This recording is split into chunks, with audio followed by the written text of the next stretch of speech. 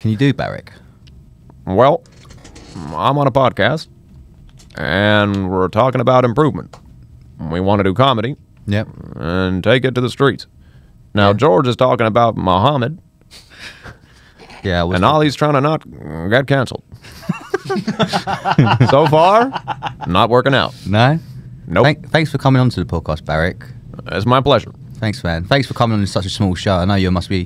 Well, you know, you can't be that busy ever since you, you know, you you gave up the presidency, you know, because you did your two terms. But Got a lot of free time on my hands. yeah. So with that free time, what what, do you do? Do you?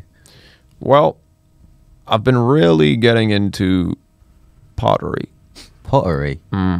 as in the making of pots. The making, uh, building, constructing, and painting of pots. Ah. Bit like George Bush with the painting, you're now making pots. George isn't picking up my phone calls anymore. No? No. Neither is Sasha or Malia or Michelle.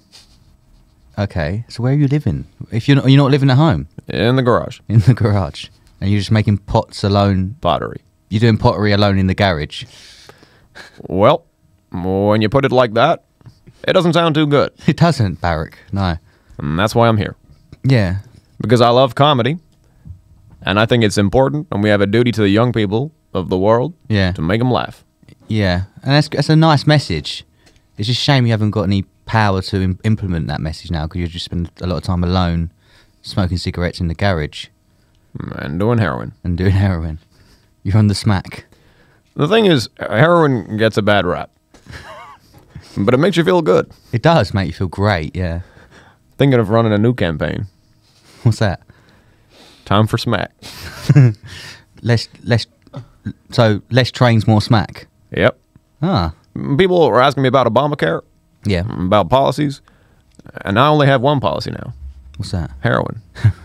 Just, just doing heroin Well, in the garage. the beauty of heroin is when you do heroin, you don't need much else.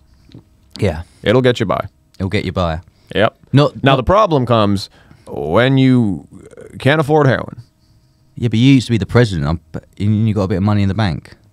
Right. So I'm good for a while. yeah. How many years you reckon you got of doing smack before you got to start sucking dick on the street? well, I do a lot of heroin. Yeah, Probably got about three months in me. three months. That's a lot of heroin. And then you're gonna be what? I go hard in the motherfucking paint. nice. And then you're just gonna be on the street blowing. I reckon you'd get a good. Sucking for drugs. Yeah, because there was a conspiracy theory that you. I'll give you a suck, and you give me drugs. Yeah. There was a conspiracy theory that you used to blow people in limousines for coke money. I can neither confirm nor deny. Yeah. Well, I've got Alex Jones on the show next week. Maybe he can clear that up. Well, he's got some pretty good points about frogs. They are gay. They are gay. They are pretty gay. They're very gay, yeah. Yeah. which I'm fine with Yeah. as Oh. the ex-president of the United States.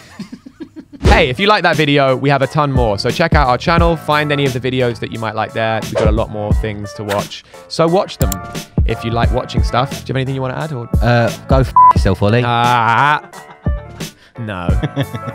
watch our videos. Thanks for watching. We have more of them.